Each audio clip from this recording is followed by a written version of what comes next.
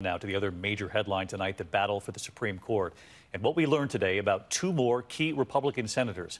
President Trump set to name his pick to replace Justice Ruth Bader Ginsburg. And tonight, Senate Republicans now signaling that they have the votes. Here's our senior congressional correspondent, Mary Bruce, tonight. Tonight, Republicans are all but certain to confirm President Trump's eventual nominee to the Supreme Court. Well, I'm more than hopeful. I think it's uh, going to happen. Mitt Romney, the last potential holdout today, saying he supports holding a vote. What I intend to do is to uh, proceed with the consideration process, and if a, uh, a, nominee actually reaches the floor, that I will vote based upon the qualifications of that nominee. And Cory Gardner, despite a tough reelection fight in Colorado, is on board too. Sources tell ABC Amy Coney Barrett is at the top of the president's list and that he met with her in person yesterday, describing it as, quote, a very good conversation. She's a devout Catholic backed by religious conservatives and anti abortion rights activists. Also high on the list, Cuban American Judge Barbara Lagoa. Choosing her could help the president win over Latino voters, especially in the key battleground state of Florida. Trump may meet with her there later this week.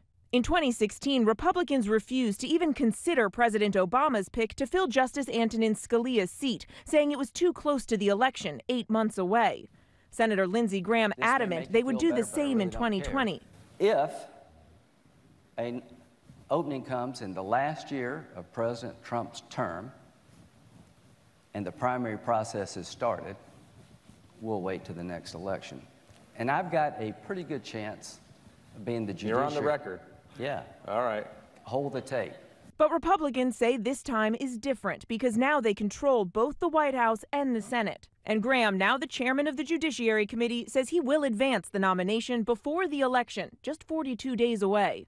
We've got the votes to confirm the judge. Critics say it's blatant hypocrisy. Today, reporters pressing Republican leader Mitch McConnell. But do you understand why many Americans view this as a double standard? I can only repeat that uh, we have an obligation under the Constitution, should we choose to take advantage of it, uh, to fill the vacancy, and I assure you that's very likely to happen. One Republican Senator, Susan Collins, who says they should follow the same 2016 precedent, says firmly she will vote no if the Senate moves to confirm before the election. Democrats tonight powerless and furious.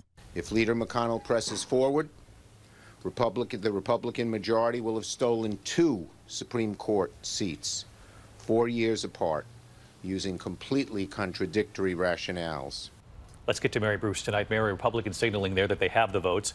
Democrats signaling now, moving forward, that they're going to make this clear to the American people that, among other things, uh, Obamacare coverage for pre-existing conditions could be on the line here because the Supreme Court is set to take this up right after the election. Well, David, with very little power here, Democrats are now going to focus on the issues at stake, like the Affordable Care Act and protections for people with pre existing conditions, with the court now set to hear just one week after the election a case that could invalidate the law. And Mary, David. in the presidential race, news coming in tonight on Cindy McCain, a big move coming from her. Well, we saw Cindy McCain, the wife of late Republican Senator John McCain, praise Joe Biden during the Democratic convention. And now we've learned she is going to make it official. She is expected to formally endorse Joe Biden. David. All right, Mary Bruce on it all tonight. Mary, thank you. Hi, everyone. George Stephanopoulos here. Thanks for checking out the ABC News YouTube channel. If you'd like to get more videos, show highlights, and watch live event coverage, click on the right over here to subscribe to our channel. And don't forget to download the ABC News app for breaking news alerts. Thanks for watching.